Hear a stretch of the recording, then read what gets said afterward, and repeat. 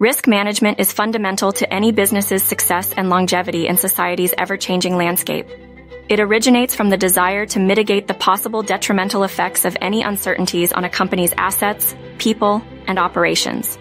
The presence of risk management concept dates back to the earliest civilizations. The Chinese, Greeks, and Romans practiced risk management tools like insurance or derivative contracts to mitigate the risks in their trading activities. However, the formal discipline of risk management, as we know today, was primarily developed during World War II. Here, its application was utilized to mitigate the vast array of risks associated with war logistics. In the field of business, risk management took a central place in the late 1950s and early 1960s. It coincided with the rapid industrial growth and expansion of businesses, which led to the realization that risks could significantly impact companies' operations and growth. Studies in the 1970s and 1980s further expanded the concept, where risk management started being perceived as an all-encompassing effort, not limited to insurance but beyond, including quality control, supply chain management, policy changes, and regulatory compliance. Risk management is marked by its significance through its impact on a company's financial stability and its potential growth. It supports the decision-making process by providing a structured approach to understand, evaluate, and address risk. It allows an organization to anticipate potential negative outcomes and be prepared with concerted plans. Another crucial aspect of risk management's significance is its role in regulatory compliance, where it safeguards against regulatory penalties.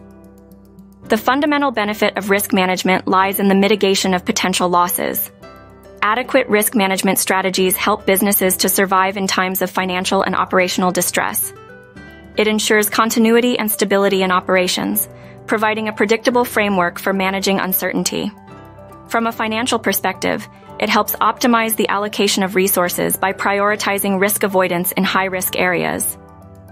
They also foster an environment of trust among stakeholders, including employees, shareholders, customers, and the general public, which benefits the organization's reputation in the long run. However, despite these positive aspects, the process of risk management is not devoid of drawbacks. The process can be complex and expensive, which can be a concern for small businesses. At times, implementing risk mitigation strategies can restrict innovation and growth since risk taking is an inherent part of growing a business. If risk averse behavior dominates the culture, it might inhibit aggressive strategies that could be beneficial. Furthermore, a reliance on quantitative risk assessment methods may overlook qualitative aspects such as employee morale and customer satisfaction. In conclusion, risk management plays a critical role in today's dynamic business environment. It has evolved tremendously from its inception, becoming an integral part of any successful business strategy. The advantages of implementing risk management outweigh the negative aspects.